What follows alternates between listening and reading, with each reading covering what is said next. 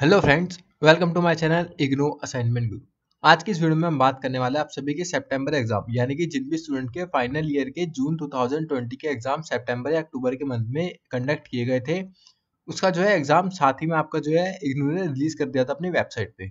सो उस अब एग्ज़ाम का जो है एक अपडेट और आ चुका है, जो कि आज यानी कि इकतीस अक्टूबर को आया उसी के बारे में हम आज की इस वीडियो में बात करने वाले हैं। सो मेक श्योर आप इस वीडियो को पूरा एंड तक देखिएगा।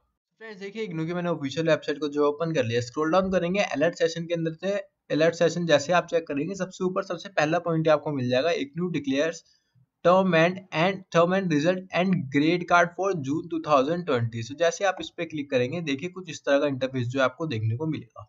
सबसे ऊपर आपको देखिए लिखा हुआ है टर्म एंड एग्ज़ाम उसके नीचे लिखा हुआ है grade card so grade card के अंदर आपके जो है सारे के सारे जितने भी ईयर्स के या फिर जितने भी सेमेस्टर के आप सबने एग्ज़ाम दिए होंगे, उसका रिज़ल्ट शो करेगा। एंड टर्म एंड एग्ज़ाम में सिर्फ़ जो आपने अभी अपना जून 2020 के एग्ज़ाम सितंबर के मंथ में दिया है, उसी का रिज़ल्ट शो करेगा।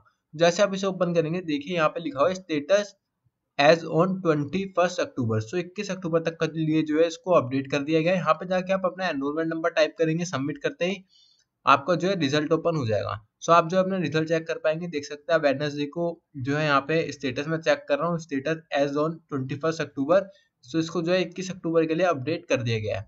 सो आप जो है अपना यहाँ पे जाके रिज़ल्ट चेक कर सकते हैं अगर आपने सितंबर अक्टूबर के एग्ज़ाम दिए थे। तो साथ ही अगर हम बात करें ग्रेड कार्ड की सो आप ग्रेड कार्ड भी देख पाएँगे।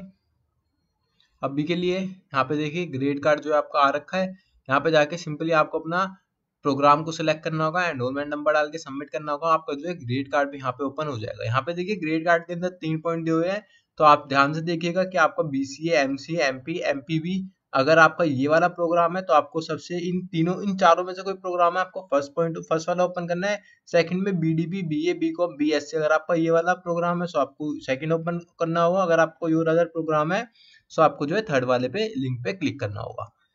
एक चीज़ का ध्यान रखिएगा नोट यहाँ पे देखिए लिखा हुआ है, जिसके बारे में आपको पहले बता चुका हूँ, अभी बता देता हूँ। ये जो है कंटिन्यूस प्रोसेस है, यानी कि जिन भी स्टूडेंट का भी के लिए रिज़ल्ट नहीं दिखाई देगा, नहीं शो होगा, उनका जो रिज़ल्ट नोट फाउंड शो होगा या फिर उन्होंने पाँच के एग्ज़ाम दिए होंगे, लेकिन तीन का ही रिज़ल्ट शो रहा होगा तो आपको टेंशन लेने की बिल्कुल ज़रूरत नहीं है। आप सभी को वेट करना होगा, आपका जो है धीरे धीरे धीरे करके एक जो है आपका रिज़ल्ट अपडेट कर देगा। सो धीरे धीरे करके जो है कंटिन्यूस प्रोसेस है, उनका जो है अपडेट होता जा रहा है। काफ़ी टाइम पहले आपको रिज़ल्ट जो डिक्लेयर कर दिया गया था सो अब से जो है आपके धीरे धीरे स्टेप बाय स्टेप करके वो इग्नू आपका रिज़ल्ट जो अपडेट करता जा रहा है। अगर आपका रिज़ल्ट नोट फाउंड आता है, आपको जो है टेंशन लेने की बिल्कुल भी ज़रूरत नहीं है।